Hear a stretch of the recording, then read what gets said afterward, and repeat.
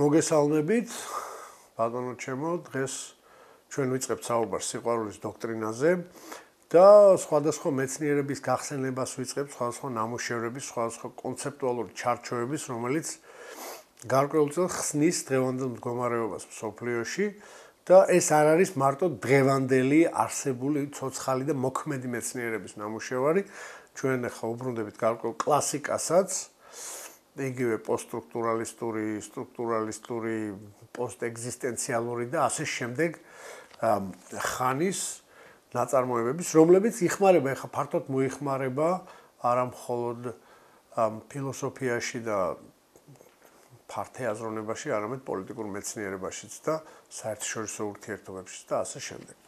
დღეს მე მინდა გესაუბროთ ორ გამოჩენილ მოღვაწეზე პირველი არის ფრანც ფანონი, რომელიც გახლავთ ერთ-ერთი ყველაზე გამოჩენილი და სხვა რევოლუციური და გადატრიალების მომტანი შავკანიანი ავტორი, რომელმაც არაჩვეულებრივი ძალიან დიდი გავლენა მოახდინა სოფლიო მეცნიერების, სოციალური მეცნიერების და პოსტკოლონიური მეცნიერების განვითარებაზე 1960-იან წლებში. ფრანც ფანონი მარტინიკის კუნძულებიდან გახლა, გახლდათ, ისიქ დაიბადა, გაიზარდა, იყო შავკანიანი და გაიზარდა ძალიან ძალიან რთულ პირობებში, როგორც იზრდებოდა ნებისმიერი შავკანიანი გაჩენილი კოლონიზებულ ქვეყნებში და აქედან გამომდინარე გადატანილი ქონდა მთელი ის ჩაგვრა, რომელსაც ყველანაირი ყველა ტიპის კოლონიზებული და ჩაგრული ერი განიცდის, ეს გზნობა ჩვენთვის არ უნდა იყოს უცხო, რადგანაც ჩვენ ზუსტად, როდესაც კოლონიზებულ მდგომარეობაში ვიყავთ და ვართ კიდევაც, სწორედ აი ამ მდგომარეობაში ვიზრდებოდით. ამას კიდევ ემატებოდა ერთი მომენტი. შავკანიანების შემთხვევაში, როგორც მარტინიკში, ასევე აფრიკაში, ასევე ჩრდილოეთ სამხრეთ ამერიკაში და მსოფლიოს სხვა წერტილებში, რომ შავკანიანებს ერჩოდნენ მათი კანის ფერის გამო. და მათ სწორედაც რომ კუკლუქს კლანის გამოცდილება გვახსოვს და დღეს ძალიან საინტერესო დღეა, რადგან გუშინ ამერიკაში კუკლუქს კლანმა ისევ გამოიღვიძა და თავისი მიტინგი მოაწყო, რომელიც ზოგმა დაგმოდა, ზოგმა ვერ დაგმოდა ამერიკული პრესა ამაზე ლაპარაკობს ძალიან ბევრს, რომ კუკლუქს კლანის მაგვარი ორგანიზაციები ჯერ კიდევ 60-იან წლებში, სხვადასხვა 50-იან 60-იან წლებში ჩამოხრჩობას და ესე იგი აუდენ და აღჩობდნენ ადამიანებს ჩრდილოეთ ამერიკაში, რომელიც დემოკრატიის სამშობლოდ ითვლება.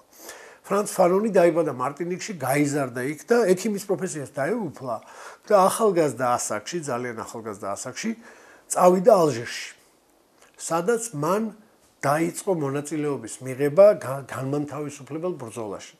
მაშინ 50-იან წლებში ალჟირის ხალხი აღდგა ფრანგული კოლონიალიზმის წინააღმდეგ. მოგეხსენებათ 50-იან წლებში საფრანგეთში საფრანგეთს მართავდა გენერალი დეგოლი, რომელიც ითვლებოდა, ასე ვთქვათ, ითვლება თანამედროვე ფრანგული რესპუბლიკების დამფუძნებლად და მარსებლად მეორე მსოფლიო ომის შემდგომ უდიდეს ფიგურა არის, რა თქმა უნდა, საფრანგულ ისტორიაში დღევანდელ დღეს და გენერალი დეგოლის მმართველობის პერიოდში დაიწყო დეკოლონიზაციის მოძრაობა. მოგეხსენებათ, ევროპული კოლონიალიზმისგან განთავისუფლების მოძრაობა თელ მსოფლიოში, ეგრეთ წოდებულ მესამე მსოფლიოში, არა რომელსაც შეარქვეს ასე ევროპაცენტრიზმმა რასისტებმა შეიძლება ითქვას ასე. მესამე მსოფლიო ეს არის ევროპაცენტრისტული რასისტული გამონათქვა იმიტომ რომ პირველად იწლებოდა ეგრეთ წოდებული ეს კაპიტალისტური სამყარო რომელიც თავისუფალი დემოკრატიის სამყარო. მეორე სამყარო იწლებოდა აგრეთვე თეთრი ადამიანებით დასახლებული სოციალისტური ბანაკი საბჭოთა კავშირის ვარშავის ხელშეკრულების ორგანიზაციები და აი ყველა დანარჩენი რომელიც პრაქტიკულად ადამიანის სტატუსს მათ არ ანიჭებდნენ თეთრი რასისტები ყველა დანარჩენს უწოდებდნენ მესამე მსოფლიოს ეს მესამე ხარისხოვანი ადამიანები ასე ვთქვათ იყვნენ და მათ მიმართ სწორედ გამოიყენებოდა დისკრიმინაციის და ჩაგრის სხვადასხვა მეთოდები. ისევე როგორც ვთქვათ პატრიარქატი და სხვადასხვა ნაირი ტიპის ჩაგრის ფენომენები, რასიზმი ძალიან აშკარად არაადამიანურ პირობებში აგდებდა შავკანიან მოსახლეობას და მოგეხსენებათ თქვენ შავკანიანები მონების ბაზარზე მრავლად იყიდებოდნენ. სხვადასხვა ერთი გამოკვლევა არის, რომელიც პრინსტონის უნივერსიტეტის წარმომადგენლებმა ჩაატარეს და თქვენს რომ სხვადასხვა მონების ბაზრები იყო და რა თქმა უნდა შავკანიანთა რაოდენობა იყო პრევალირებადი, ყველაზე დიდი. მაგრამ მე-18 საუკუნეში ერთადერთი კონკურენტი შავკანიანებს, რომლებიც ყავდათ მონების ბაზარზე, ეს იყვნენ ქართველები. ქართველი მონაქალები, რომლებსაც თვითონ ქართველები ვეყიდნენ სტამბოლის ბაზარზე, რა თქმა უნდა, იქ სტამბოლის ბაზარზე იყო აწყობილი ინდუსტრია, როგორც ამბობენ, ანაკლიიდან იყო მთავარი პუნქტი გაყვანის ქართველი მონები ქალმონაქალების და ქართველები და შავკანიანები იყვნენ წამყვანი ასე ვთქვათ, საქონელი მონათა ბაზარზე მე-18 საუკუნის შუაგულში. 1750 წლისათვის შემონახულია წერილი ბლუმენბახისა გერმანელი ანთროპოლოგის იმანუელ კანტის მას სადაც ამბობს რომ ქართველები ერთადერთი რასაა რომელიც ეჯიბრება შავკანიანებს მონობაში. აა თუმცა უნდა ითქვას რომ შავკანიანები რა თქმა უნდა გაცილებით მეტი იყო დამონებული და ძალიან მძიმე მდგომარეობაში იყვნენ და სწორედ აი მდგომარეობიდან გამოსვლას მიუძღვა თავისი ბევრი ნაშრომი თავისი ნაშრომების უმრავლესობა შეიძლება ასე ითქვას ფრანც ფანონმა მისი ერთ-ერთი მთავარი ნაშრომი გახლავთ Wretched of the Earth რა დედამიწის ზურგზე ესეთ კროლვით და დაწყევით მოსულები რა და ეს ციგნი ასახავს შავკანიანების საშინაო მდგომარეობას 1960-იან წლებში. და არა მხოლოდ შავკანიანების. პირდაპირ უნდა ვთქვათ, რომ ფრანც ფანონმა თავის ცხოვრების დიდი ნაწილი გაატარა ალჟირში, ალჟირის განთავისუფლების ბრძოლაში, როდესაც არაბი მოსახლეობა იბრძოდა ფრანგული კოლონიალიზმის წინააღმდეგ.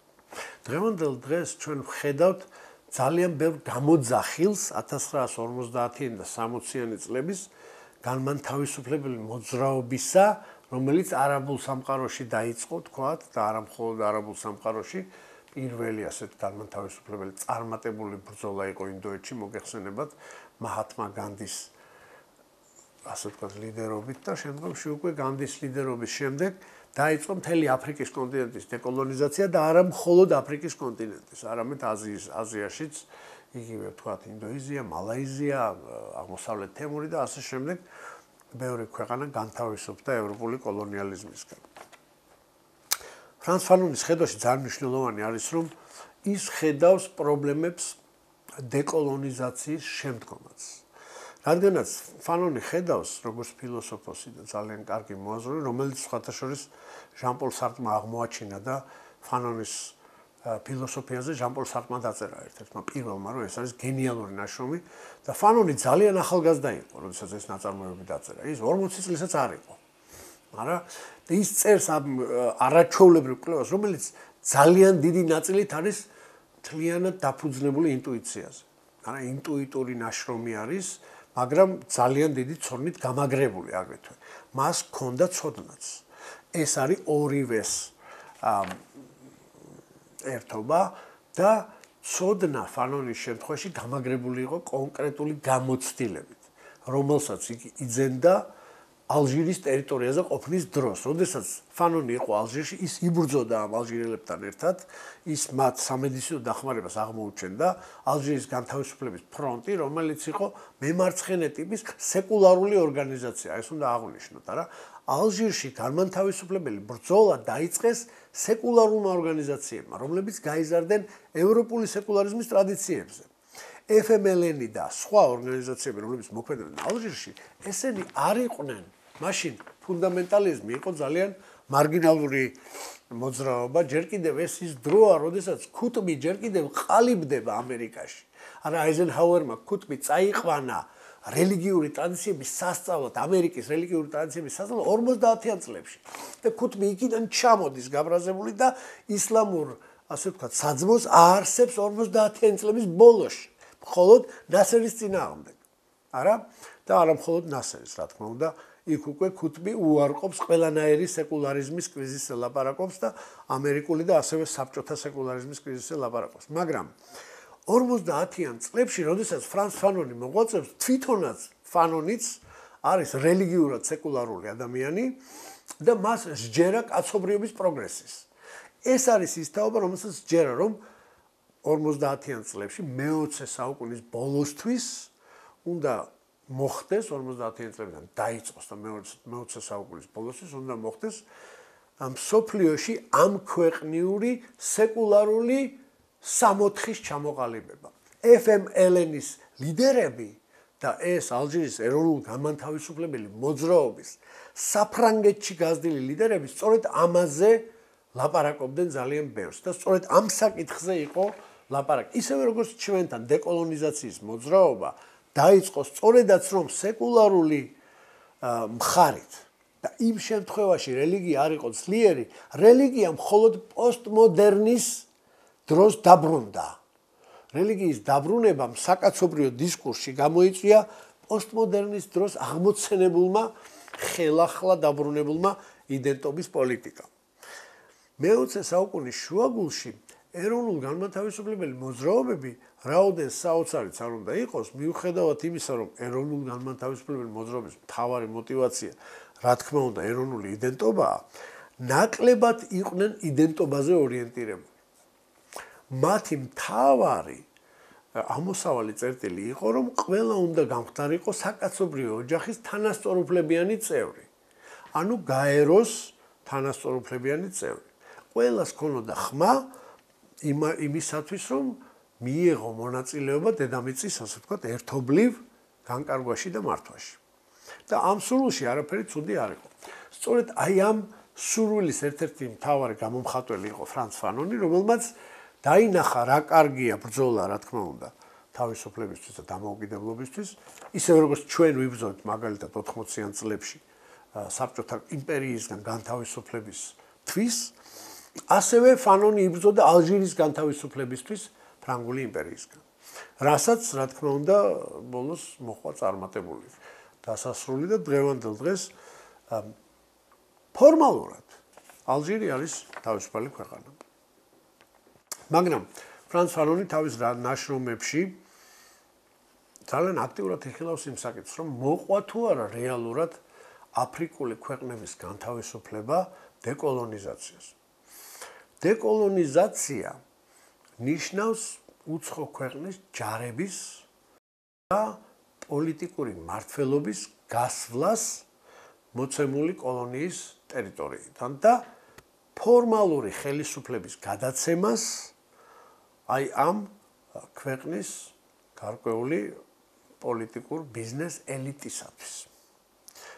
ხშირად ეს ხდებოდა თქვათ დემოკრატიული წესებითაც, თუმცა ხშირად ეს ხდებოდა პირდაპირი ხელისუფლების გადაცემის გზით, სადაც დარჩენილი ხელისუფლებები აფრიკის და თქვა სამხრეთ ამერიკის და სხვა ქვეყნებში არ იყვნენ აუცილებლად დემოკრატიული ხელისუფლებები, მაგრამ არ იყვნენ ეს არ იყო დემოკრატიული ქვეყნები, მაგრამ ისინი იმართებოდნენ ადგილობრივი ავტოკრატების, ადგილობრივი ოლიგარქების და ადგილობრივი ელიტების მიერ. სწორედ ამას მიაქცია ყურადღება ფრანც ფანონმა და თქვა ძალიან სწორადაც, რომ კოლონიალიზმი არ დამთავრებულა კოლონიალიზმის ფორმალური დამთავრების შემდგომ. ინგლისმა, საფრანგეთმა, ბელგიამ, პორტუგალიამ, ჰოლანდიამ და სხვა ევროპულმა იმპერიალისტურმა ქვეყნებმა თავისი კოლონიალისტური პოლიტიკა ოფიციალურად, ფორმალურად 1940-იან, 50-იან, 60-იან და 70-იან წლებში, როდესაც უკვე ბოლო კოლონია გაანთავისუფლა ზიმბაბვე ინგლისმა, როდეზია იყო მანამდე და შემდგომში უკვე დაერქვა ზიმბაბვე. ფორმალური განთავისუფლების პროცესი, რომელიც მაჰათმა განდის ინდოეთიდან დაიწყო და დამთავრდა უკვე 1979 წელს ზიმბაბვეში, მოიტანა ფორმალური დამოუკიდებლობა აფრიკული ქვეყნების. მაგრამ ფანონი აქ ძალიან მნიშვნელოვან კითხვას სვავს. მართლა განთავისუფლდა აფრიკა. მართლა თავისუფალია დღეს 2017 წელს. ფანონის შეკითხვა დღეს ძალიან აქტუალურია. მართლა თავისუფალია აფრიკა 2017 წელს? ან მართლა თავისუფალია საქართველოს, სომხეთი, აზერბაიჯანი, საბჭოთა კავშირი და დაშლის მერე? არის თუ არა რეალურად იქ ცხოვრები ადამიანები და აქ ცხოვრები ადამიანები თავისუფლები თუ ისინი არიან ეკონომიკური და სოციალ-ეკონომიკური მონები? ფანონი წერს, რომ ადგილობრივმა ელიტებმა გადაწყვიტეს, რომ კოლონიალიზმის ერთი ფორმა გაეცვალათ მეორე ფორმაში. უფრო სწორად, კოლონიალიზმი გაეცვალათ იმპერიალიზმის ახალ ფორმაში. სადაც მათ ქვეყანას, მაგალითად ალჟირს, მაგალითად ტუნის, მაგალითად ნიგერიას, მაგალითად იგივე როდესიას, ზიმბაბვეს, სამხრეთ აფრიკას და ასე შემდეგ პოლიტიკური ნიშნებით გაანთავისუფლებდნენ. ტერიტორიული ნიშნებით გაანთავისუფლებდნენ. იქ არ იდგებოდა გარნიზონი ფრანგების ჯარის თქვა. არ არ იდგებოდა ბრიტანული ჯარის გარნიზონი. იქ არ იქნებოდა სხვადასხვა ქვეყნების ჯარები, მაგრამ იქ აუცილებლად იქნებოდა კოლონიური, უბრალოდ იმპერიული მართლობა ტრანსნაციონალური კორპორაციების. და ეს ტრანსნაციონალური კორპორაციები, ეს ორგანიზაციები ისე მართავდნენ ამ ქვეყანას, რომ ადგილობრივ ელიტებს ჩააყენებდნენ საკუთარ სამსახურში იმისათვის, რომ დაეცათ თქვათ Coca-Cola-ს კორპორაციის, ან კიდევ Chevron-ის, ან კიდევ British Petroleum-ის ქონება. და ეს კორპორაციები წარმოადგენდნენ იმპერიული პოლიტიკის ნამდვილ მუშტს და ძალას. და აი ამ დიდი კორპორაციების სამსახურში იქნებოდა ადგილობრივი ელიტები. ბიზნესი და პოლიტიკური ელიტები. აფრიკის კონტინენტზე ხდება ის, რომ თქვა ნიგერია, რომელიც არის ძალიან ნავთობით მდიდარი ქვეყანა და რომელიც წესით და რიგით დღეს ერთ-ერთი ყველაზე ასე ვთქვათ, გაფურჩქნული დემოკრატია უნდა იყოს და საკმაოდ ძლიერი ქვეყანა. დღესაც იმართება გარე ძალების მიერ, რომლებიც მის ნავთობს შვენივრად ხმარობენ და ადგილობრივი ელიტა დგას აი ამ გარე ძალის სამსახურში. ყველაფერს ყიდის, რა თქმა უნდა, ისევე როგორც ჩვენს ახლა უყურებთ არა ქართული ელიტებიც იგივე საქციელით გამოირჩევიან, ვთქვათ, იგივე უცხოურ კორპორაციაზე. აი ამ ვთქვათ, ყველანაირი სიმდიდრის მიყიდვა არის კარგი, ამაზე ხმას ამოიღებს მილმეც და შეიძლება დაიჭირონ ციხეში, როგორც კი ამ საკითხს წამოაყენებ, როგორ შეიძლება შენი სტრატეგიული სიმდიდრეების ასე ვთქვათ, გადაცემა სხვისთვის, არა, ამით შეიძლება დაგიჭირონ. ძალიან საინტერესო შემთხვევაა, როდესაც ვთქვათ, British Petroleum-ის გამოცდილება ავიღოთ, არა, როდესაც Anglo-Iranian ერქვა მას 1950-იან წლებში ირანში ხალხმა დემოკრატიულად აირჩია სხვათა შორის დემოკრატიულად არჩეული პრემიერ-მინისტრი მოსადეღი, არა? და ეს ძალიან საინტერესო ამბავია. სხვათა შორის ამაზე თან დაკავშირებით მქონდა საუბარი გიორგი ლობჟანიძესთან, რომელიც ეს კარგად იცის. და ირანში ეს დემოკრატიულად არჩეული პრემიერ-მინისტრი არაცალეს იყოფნა. რატომ? რატომ და იმიტომ რომ მოსადეღმა გადაწყვიტა რომ აი დეკოლონიზაციის პროცესი ნამდვილად განახორციელებინა და მოახდინა ნავთობის ნაციონალიზაცია. როგორც კი მოსადეღმა მოახდინა ნავთობის ნაციონალიზაცია, ირანში ჩადის თეოდორ რუზველტის შვილიშვილი, ამერიკის ცენტრალური სადაზვერვო სამართლის წარმომადგენელი და ხდება შეერაღებული აჯანყების და გამოსვლების ორგანიზება მოსადეღის წინააღმდეგ და ხდება მისი დამხობა. მოსადეღს ამხობენ და მის ადგილას აყენებენ აღდგენენ ამერიკა აღდგენს მონარქიას არა კონსტიტუციურ მონარქიას, არამედ აბსოლუტურ მონარქიას. ასევე ხდება აფრიკის რიგ ქვეყნებში. აფრიკის თითქმის არც ერთ ქვეყანაში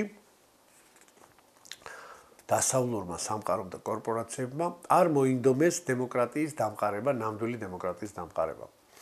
ყველგან დამყარდა ან ოლიგარქიული, ან ავტოკრატიული, ანაც პირდაპირ მნიშვნელობით დიქტატორული რეჟიმები. აი ამ რეჟიმების მართველები ხშირ შემთხვევაში იყვნენ სამხედროები, ზოგ შემთხვევაში იყვნენ არისტოკრატიული ოჯახის წევრები, ზოგ შემთხვევაში კი ხდებოდა ასე ვთქვათ ეგრეთ წოდებული რევოლუციური პროცესები წინ წასვლა აი ამ მდგომარეობის და იქ რა თქმა უნდა საბჭოთა კავშირიც უკვე ერეოდა ამ მდგომარეობაში. თუმცა რომ ვთქვათ ჩვენ როგორც ჩეგევარა ამბობდა თავის დროს რომ დიდი სხვაობა იყო ვთქვათ საბჭოთა იმპერია, იმპერია კოლონიალიზმსა და დასავლურ იმპერიალიზმს შორის ეს რთული სათქმელია, რადგან თვითონ აფრიკელების ბედზე არც ერთი მათგანი არ ზრუნავდა. ორივე ფიქრობდა იმას, რომ აფრიკის რესურსები წაეღო თავისკენ და აქ მიდიოდა ორ დიდ იმპერიალისტურ დაჯგუფებას შორის ბრძოლა იმისთვის, რომ აფრიკას ვინ უფრო კარგად გაძარცვადოთ. ამას კარგად ხედავდა ფრანც ფანონი. აქედან გამომდინარე, ფრანც ფანონი თვლიდა, რომ აფრიკელი ერების ნამდვილი დამოუკიდებლობა, კოლონიზებული ერების დამოუკიდებლობა არის არა მხოლოდ კოლონიალიზმისგან განთავისუფლება, არამედ თლიანად იმპერიალისტურ იერარქიულ ურთიერთობებზე უარის თქმა და ნამდვილი ეგალიტარიანული საზოგადოებრივი მოდელის ჩამოყალიბება, რომელიც არ იქნებოდა აუცილებლად ევროპაცენტრისტული ტრადიციებიდან წამოსული, რომელიც იქნებოდა საკუთარ ტრადიციებზე აღმოცენებული, საკუთარი ყველა ხალხის ისტორიაში და ტრადიციებში არსებული ეგალიტარიანული თანასწორუფლებიანი თანასწორუფლებიანი ეკონომიკურად თანასწორუფლებიანი ცხოვრების წესის შედეგი. ფანონი ამ ამის შესახებ სხვა შორის ძალიან ბევრი ძალიან საინტერესო ვიდეო მასალა არსებობს და ფილმი ალჟირის ალჟირის ბრძოლა ალჟირისთვის არის ერთ-ერთი ქრესტომათეული ფილმი, რომლის ავტორია ჯილო პონტეკორო. აა სხვა შორის რამდენიმე წლის წინ, თუ არ ვცდები, 5-6 წლის წინ გოგი გვახარე მაჩვენა ის თავის გადაცემაში და მოწვეული ყავდა გიორგი ლობჟანიძე და ძალიან საინტერესო საუბარი იყო ამ ფილმზე.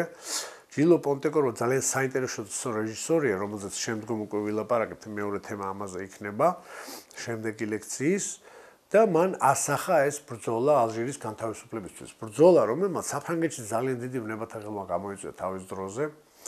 იყო დიდი შეუთანხმებლობა, თქვა ჟან-პოლ სარტრისა და ალბერ კამიოს ბანაკებს შორის. ბევრი ფრანგი ინტელექტუალი მიემხრო FMLN-ის ბრძოლას თავისუფლებისთვის. და გამოვიდა ფრანგული იმპერიალიზმის წინააღმდეგი და საბოლოო ჯამში საფრანგეთმა ფორმალურად დათმო. მაგრამ კითხვა ისმის ასე, დათმეს კი ფრანგულმა ბანკებმა აფრიკა. და დათმეს კი ფრანგულმა ინდუსტრიებმა, ევროპულმა ინდუსტრიებმა და ასე ვთქვათ, ამ ინდუსტრიის მამებმა, იგივე ენერგეტიკის მამებმა აფრიკული ტერიტორიები. იმისთვის რომ მიეცათ ის აფრიკელი ხალხისთვის და ქონოდა საშუალება აფრიკელ ხალხს განვითარებას. დღეს 2017 წელს ჩვენ ხედავთ რომ მილიონობით ადამიანი დაიძრა ევროპისაკენ. ეს ჩვენმა თანამემამულეებმა, რომლებიც ევროპაში ცხოვრობენ, ძალიან კარგად იციან, უკვე ხალხი ლამისაა ხელით მიდის გადაცურვაზე წელს უკვე რაღაც 100000 მაგაცმა გადაცურა შუაზღვა, ხმელთა შუაზღვა. იმისთვის რომ შევიდეს თქვა იგივე ამპედუზაში, იგივე ესპანეთის ქალაქებში და ასე შემდეგ და მასიური მიგრაციას აქვს ადგილი. აფრიკიდან და არაბული სამყაროდან და მუსლიმური სამყაროდან. რა არის ამის მიზეზი? ამის მიზეზი ჩვენ კარგად ამგვიწერა ფრანც ფანონმა. ფრანც ფანონმა ძალიან კარგად აღნიშნა, რომ კოლონიალიზმის ოფიციალური დამთავრება არანაირად არ ნიშნავს იმას, რომ ეს ხალხები ჩაგრულები აღარ არიან. კოლონიალიზმის ოფიციალური დამთავრება უბრალოდ მართლობის და ჩაგვის ერთი ფორმის მეორე ფორმაში გადაზრდას ნიშნავს. ფანონი ამბობს, რომ თელი სისტემა, აი ეს ნეოლიბერალური სისტემა, რომელიც დღეს არის და რომელიც მაშინაც იყო, რომელიც ბანკების და სამეწარმეო საქმიანობის საშუალებით ახდენს უკვე დომინაციას და პრაქტიკულად რესურსებს ფლობს და რესურსების მონოპოლიას არანაირად არ უშვებს ხელიდან, მას უბრალოდ აღარ სჭირდება პირდაპირი სახით გარნიზონის ჩაყენება ნებისმიერ ადგილას. გარნიზონის ჩაყენება ხდება მხოლოდ მაშინ, როდესაც ტრანსნაციონალური მულტინაციონალური კორპორაციების ქონებას ემუქრება საფრთხე. აი მაშინ უკვე ჩამოდის ჯარი, მაშინ იწყება მანევრები, მაშინ იწყება სწავლებები და მაშინ იწყება ომები. როდესაც ვთქვათ, British Petroleum-ის ქონებას, ახლა მილი გადის არა საქართველოს. ვინმე რო დაუპიროს ამ მილს ჩამორთმევა, ნაციონალიზაცია. ან კიდევ ვთქვათ, აზერბაიჯანის მთავრობამ დააპირა British Petroleum. მაშინ რა თქმა უნდა შემოვა აქ ინგლისის ჯარი და დაიცავს ამ მილს, იმიტომ რომ მილში არის ის ფული, რომელიც მას ჭირდება. მაგრამ თუ ეს არ ხდება და ადგილობრივი ელიტები ამ ნავთობს პრობლემის გარეშე ატარებენ და ყველაფერს თვითონ აკეთებენ ის, რასაც ინგლისის ჯარი არ აღარ დაჭირდა უკვე და ადგილობრივი ელიტები ამას აკეთებენ. მაშინ ბრიტიშ პატრონებს არანაირად არ უნდა რომ ეხლა ზედმეტი ჯარისკაცები გამოუშვას თავის ინგლისელები და მათი სიცოცხლე ამას შესწიროს. ფრანც ფანონი ძალიან კარგად ამბობს, რომ აი დეკოლონიზაციის პროცესის დამთავრების მერე ნეოკოლონიური ურთიერთობები დაიწყო, რაც კიდევ უფრო საშიშია. დღევანდელი ეკონომიკა, რომელზეც ფრანც ფანონი ლაპარაკობს, დღევანდელი ეკონომიკა დაყრდნობილი არის იერარქიის და უკმარისობის პრინციპებზე. და აი ამ ეკონომიკის პირობებში ის ელიტები, რომლებიც ამ თამაშში შევლენ, როგორც აი თქვა დღევანდელი ქართული ელიტა შევიდა აი ამ იერარქიის და უკმარისობის თამაშში, რა. რაც არ უნდა კარგი პიროვნებები იყვნენ. რაც არ უნდა საოცრად კეთილშობილური აზრები უტრიალებდეს ამ ადამიანებს, არა? შეუძლებელია აი ამ თამაშის წესებით თავი დააღწიო ჩაგვრას და იმპერიალიზმს. იმპერიალიზმი სხვა ფორმით მოდის, ბევრად უფრო საშიში ფორმით, რადგანაც ის გაცხადებული ტერიტორიული პრინციპით აღარ მოქმედებს. ის მოქმედებს იმპერიული, ფინანსური, ეკონომიკური და სოციალური პრინციპებით. ხდება მოსახლეობის დამშევა, მერე იაფ ფასად მუშახელის აყვანა დამონება კოლაბორაციონისტებად ქცევა და შემდგომში უკვე ისეთი კორპორაციები როგორც არის Chevron-ი, Enron-ი, British Petroleum-ი, General Motors-ი, General Electric-ი და ასე შემდეგ ტრანსნაციონალური კორპორაციები მართავენ უკვე მესამე ხარისხოვან ადამიანებად მიჩნეულ ადამიანებს. ისეთები როგორც არიან თქვა შავკანიანები, ისეთები როგორც არიან ქართველები, ისეთები როგორც არიან თქვა აზერბაიჯანელები და თურქმენები და ასე შემდეგ. ბრიტის პეტროლიუმის ერთ-ერთი მთავარი კაცი, რომელმაც ირანში მოაპოვებინა მათ კონცესია, ქართველი იყო წარმოშობით. კიტაბჯი. კიტაბჯის დამსახურება იყო, რომ ბრიტანეთი ფლობდა ირანს. ბოლოს მოსადეგმა სადა განთავისუფლება. ის გადმოაგდეს. შემდგომ აიათოლა ხომეინი განთავისუფლა ირანი ისლამური რევოლუციის იმის ქვეშ. დროშის ქვეშ. მიშელ ფუკო წერდა რომ აიათოლა ხომეინის რევოლუცია სულიერი რევოლუცია იყო. რატომ მოხდა რომ ამ დიდმა მოაზროვნემ ხარი დაუჭირა ისლამურ რევოლუციას? იმიტომ რომ ეს კაცი რომელიც არაჩვეულებრივად თავისუფალი იყო თავის პირად ცხოვრებაში ისლამისტებს ეხმარებოდა არა. ისლამიზმი და ნებისმიერი ფანატიზმი არის რეაქცია აი ამ ნეოკოლონიალიზმზე რომელზეც არაჩვეულებრივად საუბრობს ფრანც ფანონი მე ყოველს გირჩევთ რომ წაიკითხოს ფრანც ფანონის ციგნები, რომლებიც არაჩვეულებრივად არის დაწერილი, ეს მოაზროვნე მიუხედავად იმისა, რომ ძალიან ახლო ახალგაზრდა ასაკში წავიდა ჩვენგან, ძალიან დიდი ასოებით შევიდა მსოფლიო აზროვნების პოლიტიკური მეცნიერების და იქივე ფილოსოფიის ისტორიაში. შემდეგი ლექცია გვექნება უკვე ჯილო პონტეკოროს შესახებ. მადლობთ ყურადღებისთვის.